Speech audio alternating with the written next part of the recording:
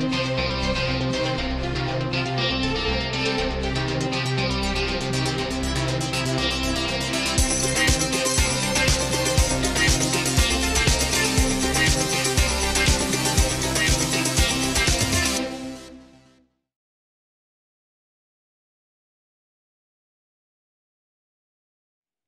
Hello, everybody. Welcome to Wine World TV, the best wine show anywhere. I'm your host, Mark Fusco.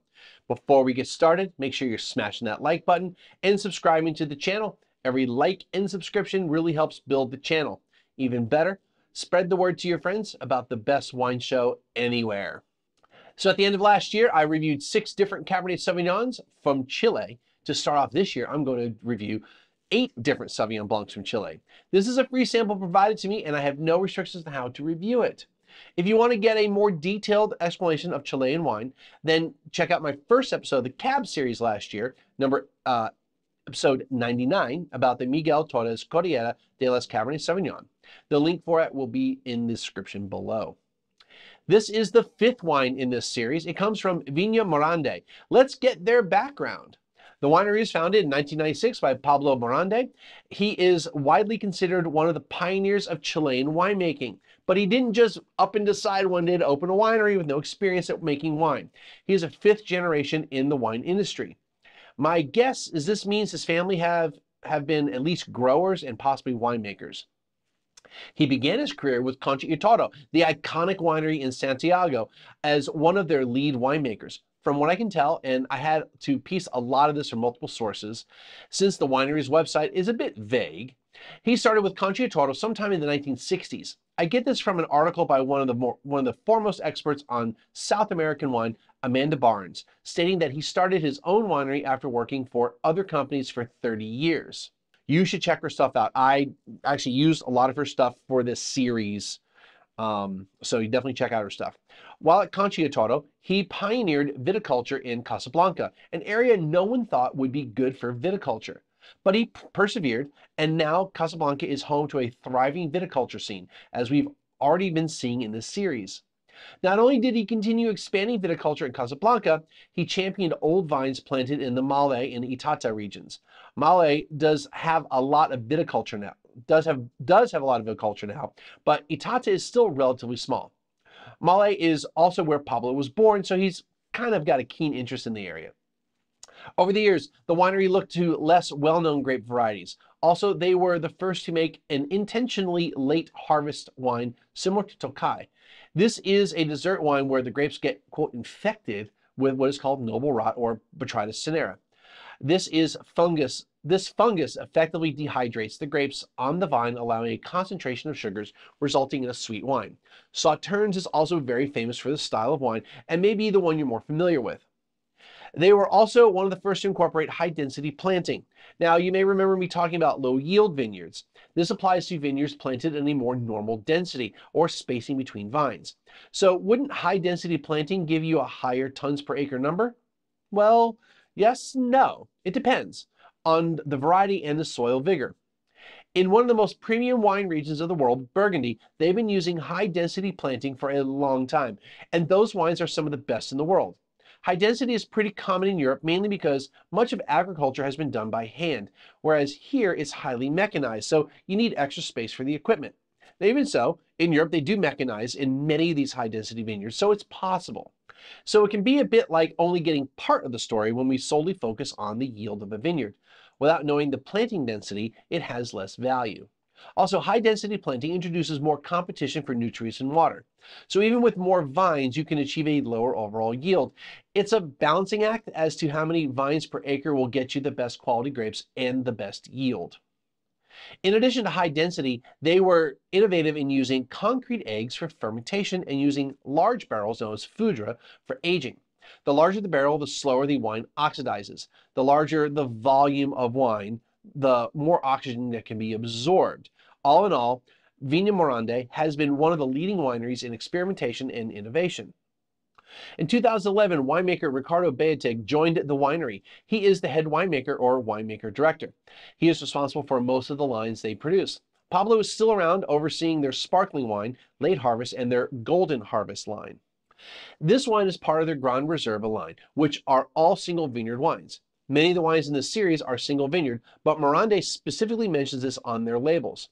The Sauvignon Blanc comes from one of their vineyards in the coldest sector of the Lo Ovalle sector in the Casablanca DO. This is not to be confused with the Ovalle DO much farther north in the Valle di Limari. It can be, it can get a bit confusing because names are reused all the time. And this is not in just Chile. Look at you, Springfield, USA. As far as the vineyard, there are two names associated with the wine from what I can tell. El Ensueño and Belén. Uh, I definitely found the Belén vineyard. I may have the exact coordinates wrong, but I know I'm in the right place. El Ensueño is another matter. I can't find it. Their webpage for their vineyards doesn't mention it. So it may be the same vineyard or a section of the vineyard or another one that maybe they buy fruit from or I, I don't know.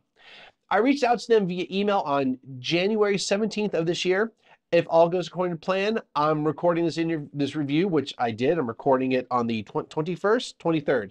I'm recording on the 23rd. Um, if I had heard back from them before I do the final edit, I'll I'll update my info. But for now, let's just go that the Belén vineyard as the source, and you've been looking at that vineyard. Moving on, they hand harvest the grapes, which makes sense with the high density. They also do what is called whole bunch pressing uh, for, for the wine.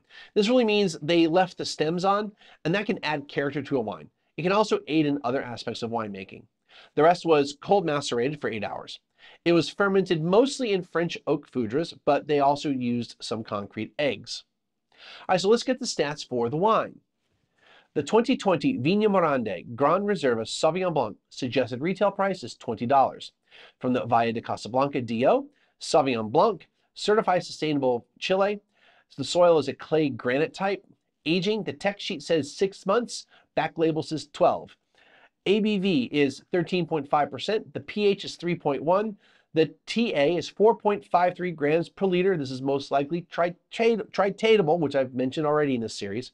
And the RS is 2.54 grams per liter. Let's get into the wine. All righty.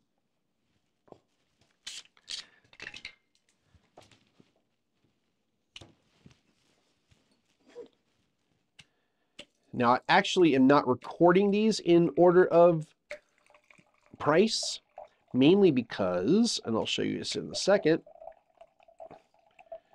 because if you've watched my show for a while or you just kind of figure it out by now, I use what is known as a green screen technically I'm using a blue screen right now because wines tend to have a lot of green in their label, like last week's wine. This one doesn't really have any green, but the bottle's kind of green, right? Well, I then have wines with a lot of blue in them, like this one. So this one was, I think, one of the ones I should have done already. So I haven't done it yet. But as you can tell, um, with the blue screen, there's a lot of more more purple, I guess, but the Costa is probably hard to read. You know, the this is probably black. Same thing with this one. This is probably black. You know, there's a little bit of blue there. So, I mean, I've got some wines that have blue on them, so I have to be conscious of when I do these things. Oh, sorry, inside baseball. All right, let's get into it. What I'm trying to say is the couple wines before this one, I haven't done yet. I, uh, I would call this medium, almost medium plus on the aromatics. It's kind of jumping out a little bit. They're fresh, youthful. Wow. Okay, so again, like all these Sauvignon Blancs should have uh, that jalapeno slash bell pepper type of thing going on. I also feel like there's like just not, not when I mean bell pepper, I always I always pretty much mean green, but in this case, I kind of all the colors red, yellow, and green. Yeah, citrusy, I don't really have a specific citrus on this one right now on the nose. And while their aging was in Foudre, um, these are big barrels and they're not necessarily new oak, so they're not really imparting any oak characteristics as far as flavors and aromas. They're really just a vessel to uh, ferment in, and oak tends, tends to be a little more permeable with air versus like concrete eggs, which are just like, you know, no no air. Well, the concrete actually will have a little bit of air bubbles inside. So it's just it's just a different way to do do everything. It's it's, gonna have slight subtle differences in the wine, or in some cases not so subtle. But yeah, it smells really good. Let's just get on the palate. It's really like a, a combination of peppers. Like you saute these peppers, uh, you know, in the frying pan, and you're going to add them to whatever the dish is. Um, and there's, there's like a sweetness to the peppers too. So it's not that like biting, like hotness to it. It's more like a sweetness to the peppers. That's why I'm, I'm throwing in the yellow and the red in there besides just the green, because the green bell pepper can be really just like, like intense. Whereas the yellow and the and the red kind of dial things back. At least to me, they do. Um, there's a more of an orange quality to this as far as like the citrus side. Um, I don't really get a ton of grapefruit really or lemon lime. Um, it's more of an orange, yellow, and uh, red bell peppers. Really, really delicious. Um, I know it's not a sweet wine, but there's a sweetness of the fruit. Uh, not that the fruit is like ripe, ripe, but there's like that that kind of sweet characteristic from those peppers and that orange, how orange kind of ha can have a, a sweeter flavor to it. And I would not call this a sweet wine by any means. Like not even like, you know, people say, I don't, I want a wine that's not too sweet, not too dry. I'm like, that's pretty much all wine. Um, people perceive sweetness by the flavors of the fruit. I would not call this sweet in that, in that sense either. Mm. I mean, it really much is just like a singular thing with, with those peppers, but it's like that com, it's like, it's like a combination. Like I can see literally having this with goulash which might seem a little strange because you know I'm having like beef with this, but when we have goulash and we've got at least our goulash. Yes, I'm not 100% Italian. Funny thing is, my dad's the one who makes it. And he's Italian. Is from my mom, mom's side. They, um, I really feel like I'm eating goulash with this because you've got the the those two peppers in there, you got the onions, and you got that that meat and the savoriness. That's what I'm trying to go for. There's a savoriness to this. I think this is a wine that could cross over a little bit into that savory side. Now, definitely pork would be a great uh, a great pairing with this. Um, you could do this for like barbecue chicken, um, barbecue pork. You could do this with something. You could do it just barbecue in general. Like you could even have this kind of with, well, maybe not with ribs necessarily, but if you're having like some type of barbecue dish going on, totally could go barbecue pizza, Hawaiian pizza would be, again be perfect with this. Um, margherita pizza, you know, white, you know, pizza, you know, white pizzas, you know, like with white sauce on there. Um, Alfredos, you could do this with Alfredo. Maybe not, maybe not quite like a fettuccine Alfredo because the peppers in there. But if you added peppers to that, if you did like a pasta dish where you added some peppers to it, like the red and bell, red, red and uh, yellow peppers to it. Totally could do that. Spanish rice, Spanish rice. Again, that's another thing that would be great with this. So again, enchiladas. Yeah. It's it's more because that pepper in there, right? And a little bit of that orange, a little bit that that uh, citrus thing that I'm trying to pick bolder um, foods to go with because you want that balance this is not a porch pounder. This is not one you're just gonna chill and just drink on its own. It really needs food with it. It's delicious though. All right, you know, that's gonna do it for today's show.